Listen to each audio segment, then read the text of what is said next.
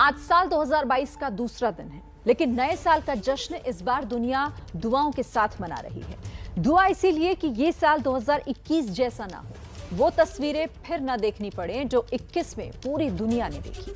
Corona का वो हाहाकार फिर ना लौटे। फिर ऑक्सीजन के लिए हाफते लोग न दिखे। 2021 ऐसी बहुत सी कड़वी यादें देकर गया है, जिसे शायद ही हम कभी भूल पाए।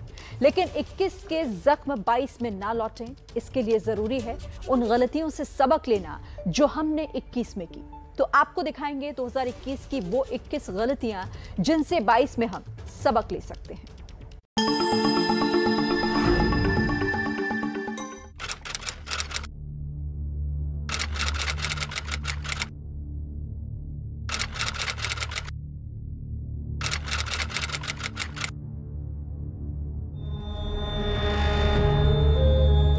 हज़ार भेष धर के आई मौत द्वार पे मगर तुझे न छल सकी गई वो हार के।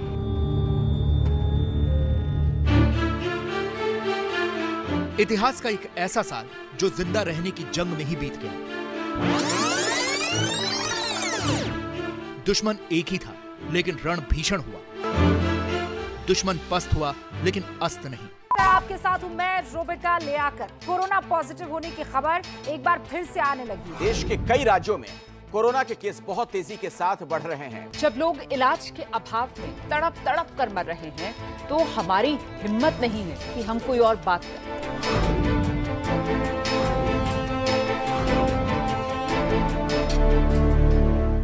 बस यही है 2021 जो कोरोना से जंग में ही बीत गया।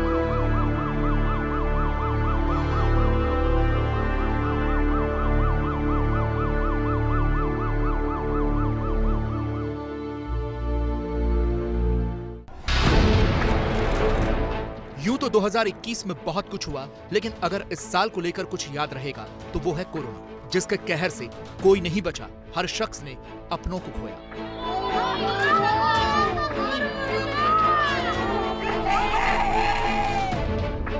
यूँ तो पूरा साल ही कोरोना ने दुनिया को इसी तरह से रुलाया, लेकिन अप्रैल से जून तक कोरोना के कहर ने हाहाकार मचा दिया। भारत में कोरोना से चार लाख अस्सी हज़ार लोगों की मौत हुई और अब तक साढ़े तीन करोड़ से ज़्यादा केस आ चुके हैं। पूरी दुनिया में कोरोना चौवन लाख लोगों की जान ले चुका है और 28 करोड़ इसकी चपेट में आ चुके हैं। भारत में कोरोना से ज़्यादातर मौत अप्रैल से जून के बीच हुई, जिसे दूसरी लहर कहा गया। 27 अप्रैल को ही मौत का आंकड़ा दो लाख पहुँच चुका था। आज भी कोरोना खत्म नहीं हुआ।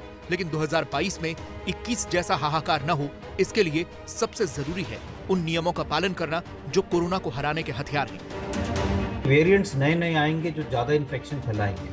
लेकिन चाहे कोई भी वेरिएंट आए, अगर हम कोविड अप्रोप्रिएट बिहेवियर निभा के रखें, अगर हम मास्क लगा के रखें, दो गज की दूरी रखें, हाथ धोएँ, भीड़ इकट्ठी ना होने दें सुपर स्प्रेडिंग इवेंट्स ना बनाएँ तो तो ये वायरस फैल नहीं पाएगा। इसलिए नए साल की शुरुआत में हम आपको फिर उनकी याद दिला देते हैं। कोरोना की दूसरी लहर में सबसे ज़्यादा कोहराम ऑक्सीजन के लिए मचा। देश की राजधानी दिल्ली से दूर दराज के गाँवों तक ऑक्सीजन के लिए लोग जूझते नज़र आए। काफ़ी ज़्यादा परेशान है मेरा भाई और ऑक्सीजन कहीं से कहीं तक नहीं मिल पा रही है। इस हाहाकार ने देर से ही सही लेकिन हुक्मरानों की नींद भी तोड़ी। ऑक्सीजन का प्रोडक्शन बढ़ाया गया। सप्लाई चेन भी मज़बूत हुई। अब 2022 के लिए हम यही दुआ करेंगे कि अगर ज़रूरत पड़े तो कम से कम ऑक्सीजन के लिए तो 21 जैसे हालात न हो। देश में जब कोरोना का सबसे बड़ा हमला हुआ तो उत्तर से दक्षिण तक अस्पतालों के बाहर फूलती सांस के साथ एक बेड की आस के लिए मरीजों की कतारें दिखी। एक अदद बेड के लिए लोग एक शहर से दूसरे शहर तक भागे। किसी को मिला तो कोई खाली हाथ ही रहा। हॉस्पिटल ने भी तो मना कर दिया बोले मेरे पास ऑक्सीजन का कुछ नहीं अपने फैमिली को ले जाए। 2021 का ये सबक भी हमें 2022 में ज़रूर याद रखना होगा क्योंकि कोरोना रूप बदलकर फिर दस्तक दे चुका है। 2021 में दूसरी लहर का सबसे खौफनाक पहलू कोरोना से हुई मौत के अंतिम संस्कार की तस्वीरें थीं। कहीं शमशान में शवों की कतारें दिखी तो कहीं गंगा में तैरती लाशें। कानपुर से पटना तक जगह जगह नदियों में लाशों का अंबार दिखा। शमशान घाट में एक साथ दर्जनों अर्थियों से उठती लपटें दिखी। 2021 के इस मंजर को तो भुलाया नहीं जा सकता, लेकिन 2022 में ऐसी तस्वीर न देखनी पड़े, हम इसकी दुआ ज़रूर करेंगे। कोरोना का कोहराम जब चरम पर पहुँचा तो मरीजों की मजबूरी को कुछ लोगों ने मुनाफे का मौका समझा। जरूरतमंद दवा के लिए मारे मारे फिरते दिखे और मुनाफाखोरों ने महामारी को काला बाजारी का ज़रिया बना दिया। चार बजे से खड़े हैं रेमडेसिविर इंजेक्शन प्राप्त करने के लिए। कोई हमारी सुध नहीं ले रहा है हमारे परिजन बीमार पड़े हुए हैं। कभी भी उनको कुछ भी हो सकता है कौन ज़िम्मेदारी लेगा? आज हालात भले ही ठीक हो गए हों लेकिन 2022 में ऐसा ना हो। इसके लिए ज़रूरी दवाओं का प्रोडक्शन ही नहीं बल्कि सप्लाई चेन भी मज़बूत करनी होगी। साथ ही कालाबाजारी पर लगाम लगाना भी 2022 के लिए सबसे बड़ा सबक है।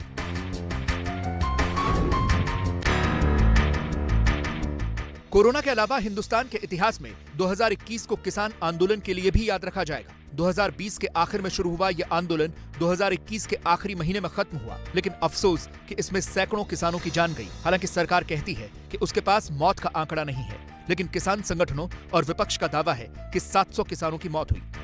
जैसे पूरा देश जानता है, किसान आंदोलन में तकरीबन 700 किसान शहीद हुए। एग्रीकल्चर मिनिस्टर से सवाल पूछा गया था कि किसान आंदोलन में कितने किसान शहीद हुए।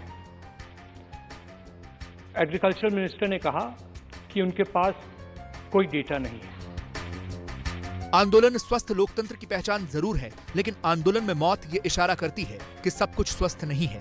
और 2022 में हम यही उम्मीद करेंगे कि ये बीमारी खत्म होगी।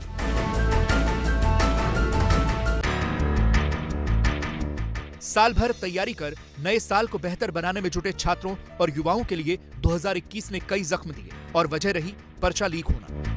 बिल्कुल बर्बाद करके रख दिया है। बच्चों के साथ जो है पूरा खिलवाड़ किया जा रहा है। एक मज़ाक सा बनता जा रहा है कि पेपर आउट हो जाता है।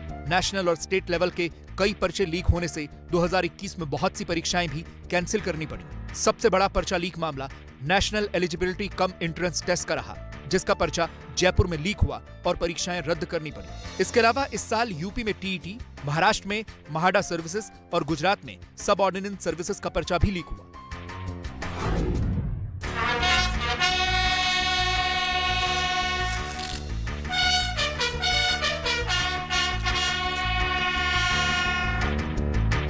दो हज़ार इक्कीस के बड़े जख्मों में भारत माता के वीर सपूत जनरल बिपिन रावत का हेलीकॉप्टर हादसा भी रहा। इस हादसे में जनरल रावत और उनकी पत्नी समेत वायुसेना और थल सेना से जुड़े चौदह लोगों की मौत हुई। 8 दिसंबर को हुए इस हादसे की जाँच जारी है, लेकिन इस हादसे से ये सबक ज़रूर लेना होगा कि फिर ऐसा कभी ना हो।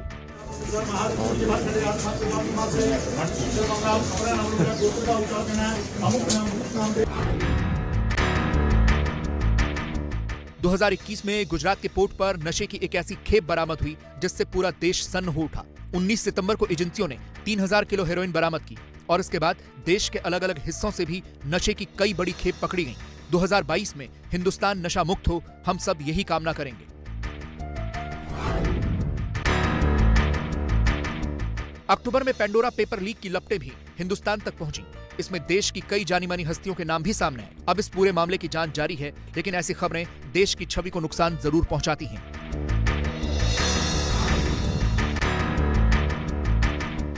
दो हज़ार इक्कीस का सबसे बड़ा खेल आयोजन भी विवादों से नहीं बचा।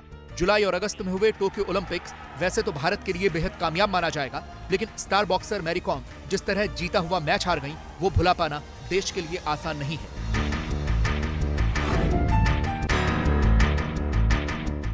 साल के खत्म होते ही भारतीय क्रिकेट बोर्ड में भी विवादों के ऐसे शोले भड़के कि कप्तान विराट कोहली और बोर्ड में ही तलवार खींच गई। कोहली को वनडे की कप्तानी से हटाया गया और फिर उन्होंने प्रेस कॉन्फ्रेंस कर सौरव गांगुली पर कई इल्ज़ाम लगा दिए। यही नहीं, ये साल मैदान पर टीम इंडिया के लिए अच्छा नहीं रहा। अब हर क्रिकेट फ़ैन 2022 में भारतीय क्रिकेट को फिर बुलंदियों पर देखना चाहेगा। हर साल की तरह इस साल भी उत्तराखंड पर कई कुदरती मार पड़ी। लेकिन फरवरी में चमोली में ग्लेशियर ब्लास्ट की तस्वीरें देखकर पूरी दुनिया काँप उठी। इस आपदा ने एक झटके में बहत्तर लोगों की जान ले ली। वैसे तो कुदरत के कहर पर किसी का बस नहीं चलता, लेकिन हम दुआएँ ज़रूर कर सकते हैं।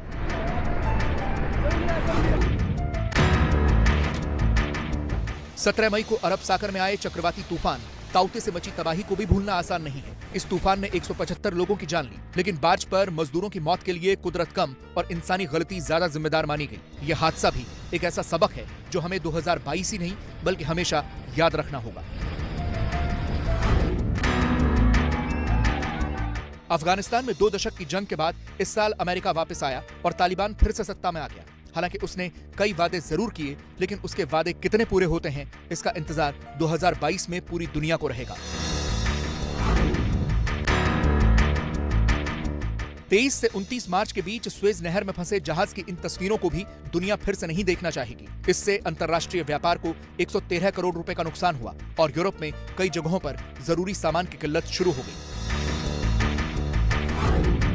साल 2021 कोरोना से जूझते हुए बीता और 2022 की आहट के साथ ही देश में ओमिक्रॉन ने भी दस्तक दे दी है।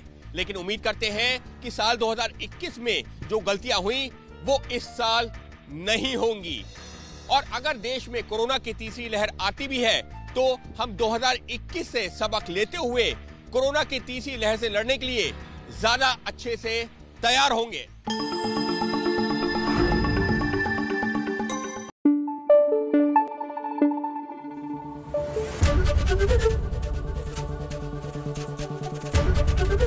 एबीपी न्यूज़ आपको रखे आगे।